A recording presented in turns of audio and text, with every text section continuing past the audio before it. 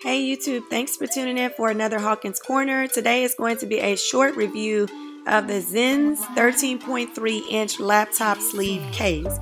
So this is a very nice case. It comes in the color black. As you can see, there's a handle on the top. It comes with the front zipper department and there's nothing really on the back. On the inside, there are pockets for a pen and things like a hard drive, uh, USB drives, things like that. Very, it's kind of small. It's not as spacious as I thought.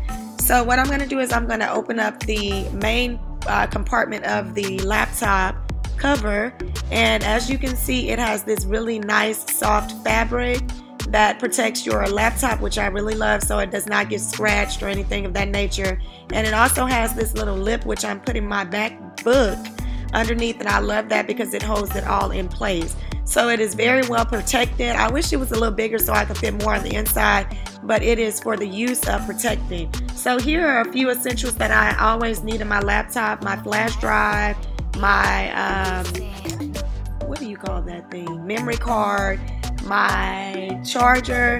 So as you can see, I'm just giving you a demonstration of putting all of those things inside of my bag.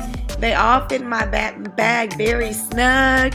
Once again, could use just a little more space, but it is perfect for what I need because it zips up. So there you have it. This is the laptop sleeve cover bag and it is very practical. So thank you guys so much for tuning in. Make sure you subscribe to my social media and I'll see you guys next time on Hawkins Corner.